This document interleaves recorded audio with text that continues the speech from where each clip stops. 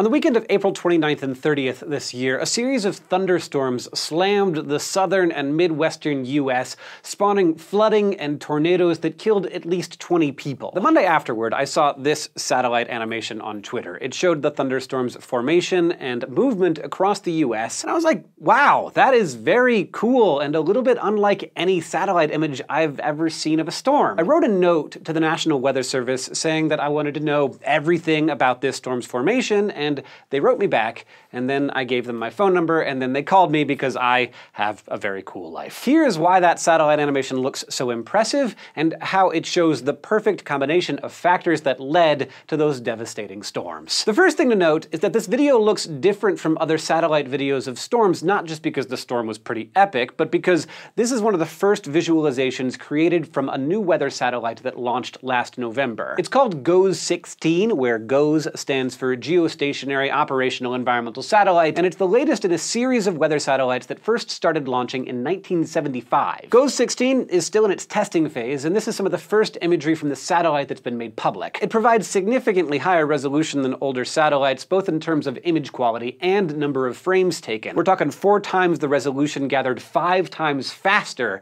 than older satellites. The satellite collects real-time data as frequently as every 30 seconds, allowing a better understanding of exactly what happens with storms like this one. But enough about the satellite, let's talk about the storm. In the first few seconds of the video, you can see a stationary front stretching across the midwestern United States. A stationary front forms when a cool air mass and a warm air mass meet, but neither side is able to overtake the other. That can lead to cloudy weather and a lot of rain. This particular stationary front was set up by a cool air mass across the northern and western part of the country, and unseasonably warm weather in the south and east. Since both of these masses were similar sizes, neither could move the other, so that's our stationary front. There was a lot of warm, wet air along that front, trapped under a cap of warm, dry air. The warm, moist air wanted to rise, but it couldn't get through the hotter air above it. Until finally it broke through. There were similar conditions across much of the Midwest, which allowed thunderstorms to develop really quickly along the entire front. There were also winds running mostly parallel to the front, so these thunderstorms moved in the same direction, one after another. That's what meteorologists call training because you end up with a bunch of thunderstorms moving along the same path, like train cars moving along a track. The cap of warmer, drier air was broken in succession all down the front. The warm, moist air at the surface shot up and cooled, and water vapor condensed, releasing tons of energy, and also all that rain. Some of the storms that developed were supercell thunderstorms, the really severe kind that can have super strong winds and cause flash flooding, and also sometimes produce tornadoes. Thanks to the amazing resolution of the GOES-16 satellite, you can see one of the telltale signs of a severe thunderstorm, those little dark splotches. In intense thunderstorms like supercell thunderstorms, warm moist air shoots up into the atmosphere, cooling as it rises. Eventually, its temperature becomes the same as the ambient air. When that happens, the storm flattens out at the top, forming what's known as the thunderstorm's anvil, because the cloud kind of looks like an anvil, all flat at the top. But in the very center, where the air was rising the fastest, the air shoots up past the top of the thunderstorm anvil in what's called, appropriately, an overshooting top. That that's what those little black splotches are. And this is what they look like from above. Meanwhile, this stationary front unfortunately remained stationary as more warm, wet air was sucked up into the atmosphere. And so not only did the rain keep falling, it kept falling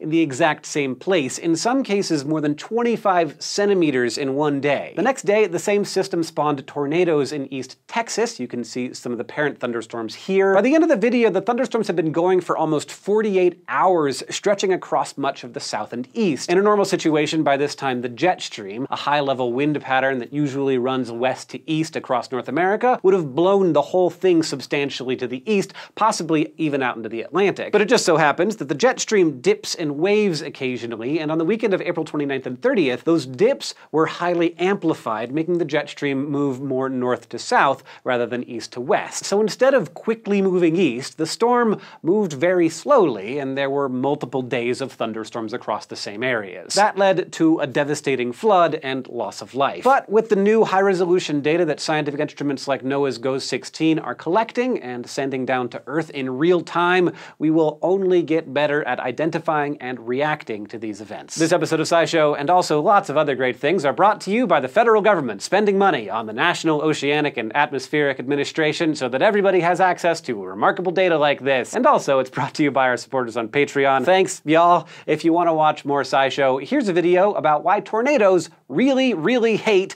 the United States so much.